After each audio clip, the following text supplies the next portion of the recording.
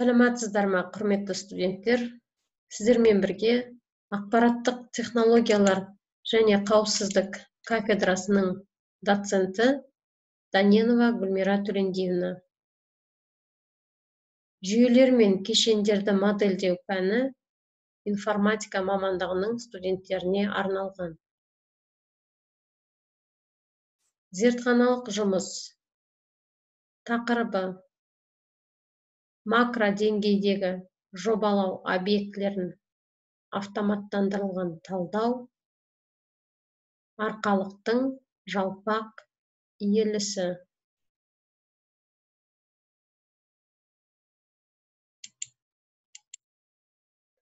зертханалық жұмыстың мақсаты. ансис ортасында сәуленің максималды қисаюын бағалай отырып макродеңгей объектілермен жұмыс істеу дағдыларын игеру. Сондай ақ табылған қозғалыстарды және сәуленің қисық осінің жалпы көрінісін көрсету.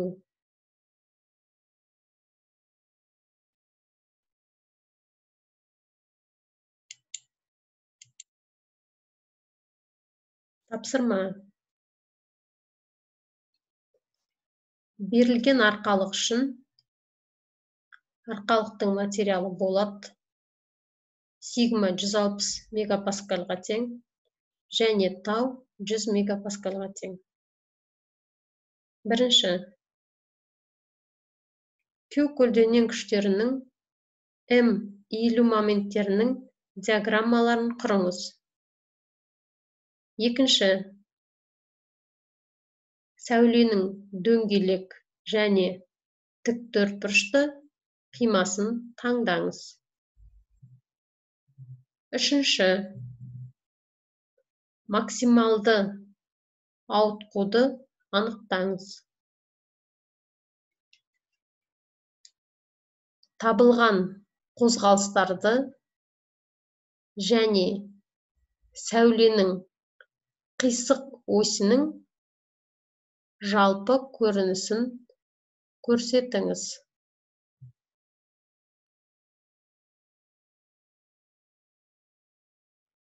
Болат материалдан жасалған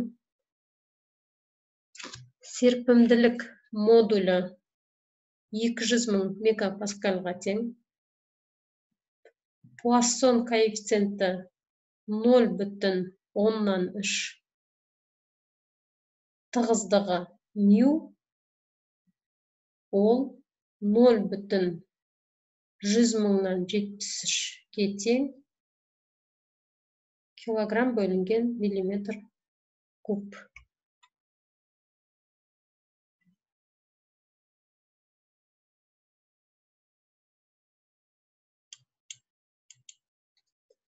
зертханалық жұмысты орындау тәртібі келесідей.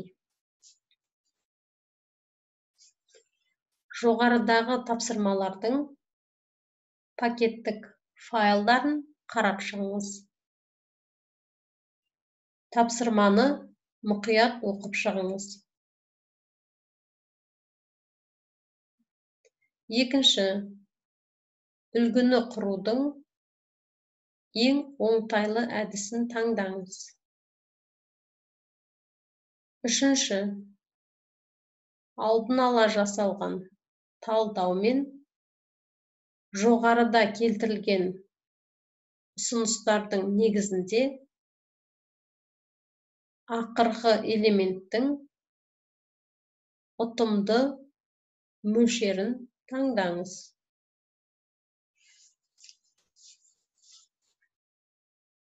Төртінші тапсырманы интерактивті түрде іске қосыңыз. Содан кейін пакеттік файл жасаңыз. Бесінші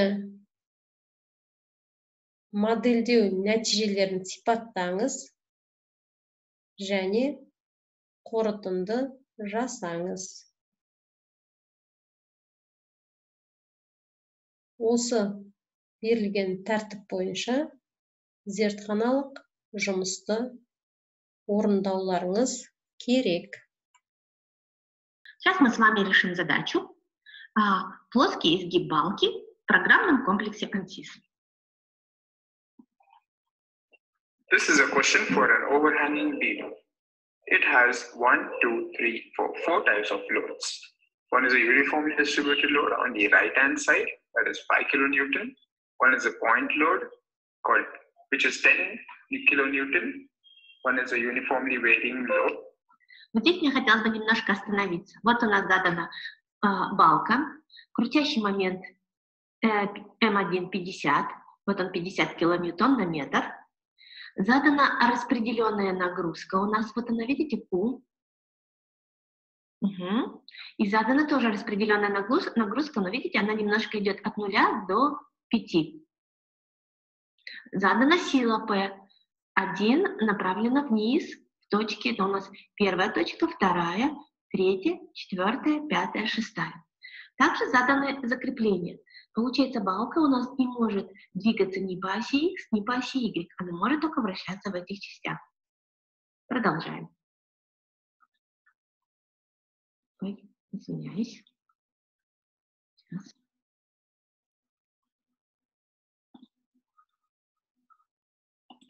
And one more is a bending moment at the left end, that is 50 kilonewton. The theoretical solutions are given below. We'll look into it later. Let's go to File, Clear and Start New. Do not re-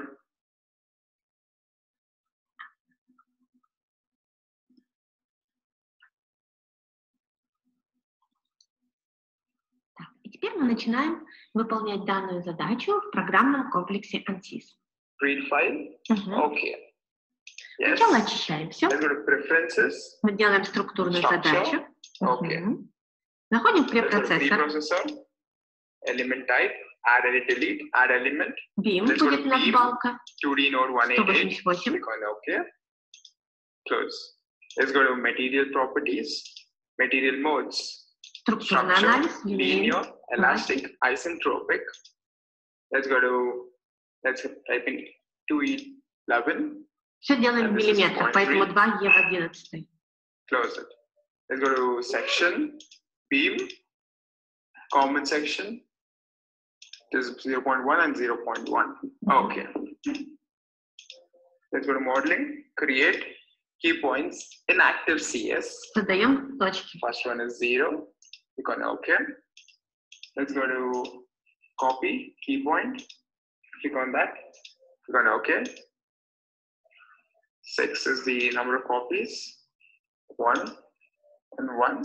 Okay. Mm-hmm. So, that is just such minimum kopiranje. Now let's go to lines, straight lines.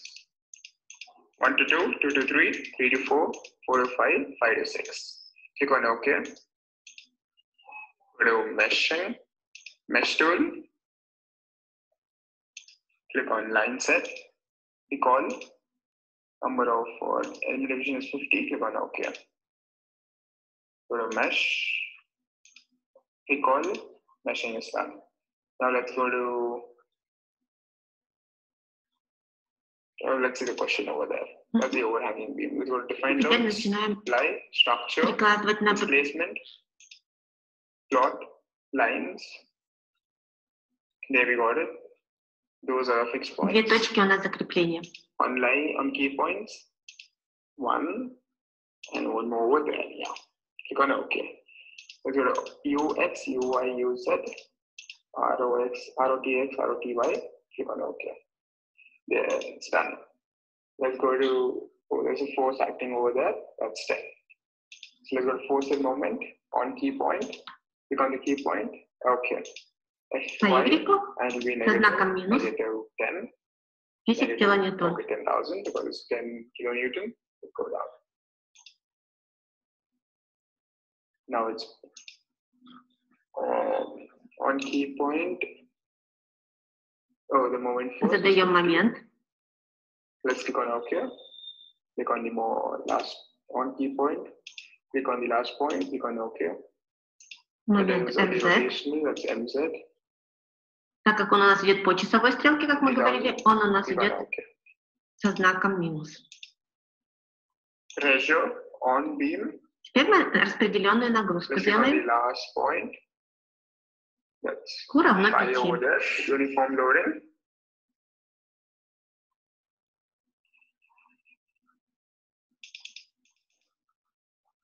It is. Zoomed in by mistake. Let's click on the whole thing. Check the Mhm, whole box. Once that is Mhm. done, click on OK. Second one, fif- 5000. Мгм. The other one is uh, Также, 5000 потому что у нас распределенная нагрузка. uniform loading. Uh, The other side. Let's click on on beam А здесь у нас уже будет box. неравномерно, а в начале 0, The whole thing is uh, frozen. Let's click on OK. 2 это Right, означает то, что по one Y мы прикладываем. Zero. In other cases, 5000. Yeah, there we got it.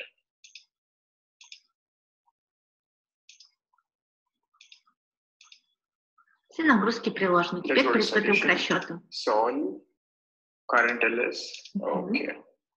Solution is done. Close that. Yeah, close it all. Все нормально, Now go to решение. general post Теперь будем processor. смотреть результаты. Element table. Define table. Сначала определим таблицу для напряжения и by деформации sequence number, через бассейконс. SMISC3, click on apply. By sequence number, SMISC6, apply. By sequence number, SMISC16, apply. SMISC number by sequence is 19, apply. Это стандартные величины в ансисе. This is the uh, result that's required. Go to reaction solution. Click on OK. There we go. У RA is minus 12.22. The same as that over there. А, здесь давайте RD немножко остановимся. 29.7. А, вот теоретическое решение задачи, да? Вот смотри реакцию. Здесь 29,72. Так. Мгм. Здесь у нас э, 12,22 килоньютон. Вот она идет 12,22 у нас во второй точке. И здесь у нас 29,72, ну 29,558. Почти одинаково дает нам эти значения. 22 kilonewton, that is 29,586. Almost similar. Now let's go back Почти одинаково. Сейчас посмотрим эпюры напряжения и деформации. Let's go check for 6 and for 19. Okay. There we go. That's the part. Shear force is as shown in the figure. А, вот здесь бы, конечно, тоже хотелось бы остановиться. Это эпюра у нас эм, нормальных сил. И вот, единственное, что в ансисе применяется обратное. Если здесь э, идет у нас здесь отри- э, положить отрицательное, здесь оно положительное. И вот здесь вы видите, да, что э, в ансисе так и принято. Они говорят, на это не обращайте, знаки немножко перевернуты. Но что касается значений, то они почти одинаковые. Вот здесь пятерочка, видите, синенькая. И тут у нас тоже 5000. Ну, тут просто 5, а мы 5 килоньютон. It's it's in the opposite direction. That's all. Let's go and change it to 3 and 16. Okay. Сейчас посмотрим Now, изгибающих моментов. in- А, теперь здесь обратите внимание на эпюру изгибающих моментов. Здесь она просто а, как бы нарисована, но она также положительная. Вот здесь 50, просто вниз нарисовано. Так и здесь у нас получается 50, да? Минус 2, 450, ну здесь 2,5. Результаты одинаковые. the opposite direction. Nodal solution, DO solution. Теперь посмотрим прогиб балки. displacement. Okay. That's a displacement. Вот у нас прогиб ба- Control балки. plot style, size and shape, off, on. Okay. Вот мы можем посмотреть ее в, в трехмерной варианте. Stress, one Mr. Stress, yeah. Конмизиса можем посмотреть. Okay. We have a Еще one Mr. напряжение Stress. по конмизису. Thanks a lot for watching, guys. We'll be back soon. зертханалық жұмысты орындау тәртібі келесідей жоғарыдағы тапсырмалардың пакеттік файлдарын қарап шығыңыз. Тапсырманы мұқият оқып шығыңыз. Екінші үлгіні құрудың ең оңтайлы әдісін таңдаңыз. Үшінші алдын ала жасалған талдаумен жоғарыда келтірілген ұсыныстардың негізінде ақырғы элементтің ұтымды мөлшерін таңдаңыз.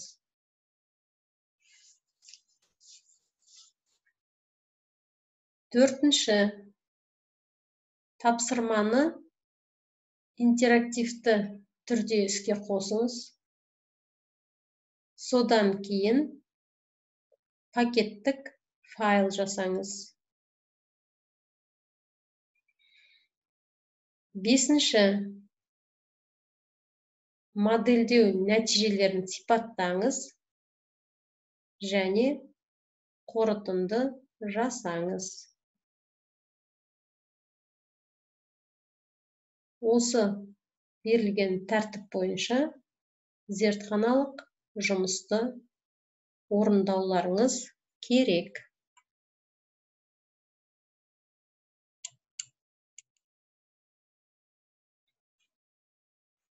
Зертханалық жұмысты орындап болған соң есеп беру әзірлеуіміз қажет. Есеп берудің мазмұны келесі талаптардан тұрады. Бірінші титулдық парақ. Екінші берілген тапсырма сипаттамасы. Үшінші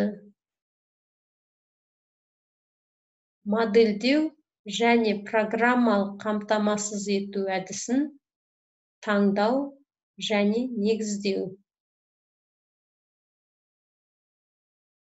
Зертханалық жұмыста пайдаланылатын әдістің программалық және техникалық құралдардың қысқаша сипаттамасын жазыңыз. Төртінші. Есептік модель. Бесінші командалары қысқаша сипатталған командалық файлдардың мәтіндері. алтыншы модельдеу нәтижелері.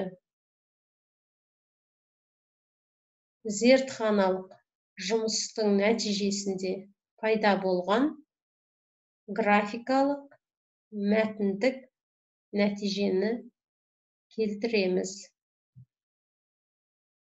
Жетінші. Жасалған жұмыс бойынша тұжырымдама жасап қорытындылаймыз.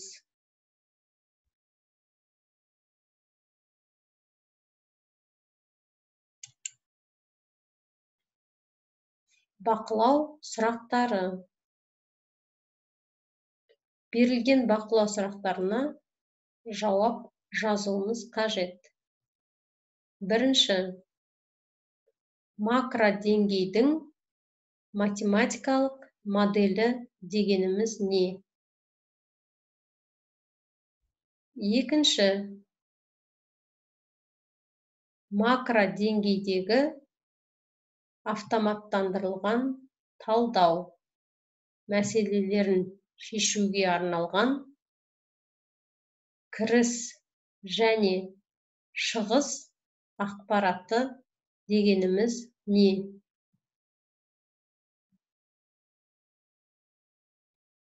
Үшінші бақылау сұрағы. Пайдаланылатын соңғы элементтің ерекшеліктерін сипаттаңыз.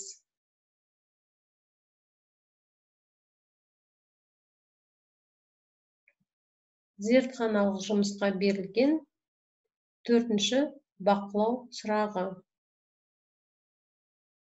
Бөлімнің ең жақсы нұсқасын таңдауды негіздеу. Бесінші бақылау сұрақ. Макродеңгейдегі жобалау объектілері дегеніміз не?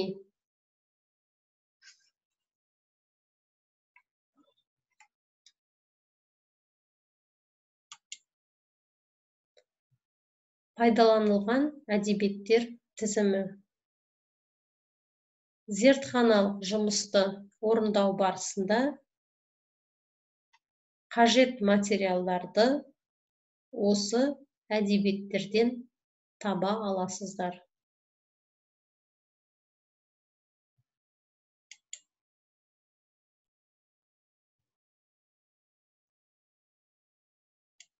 Назарларыңызға рахмет.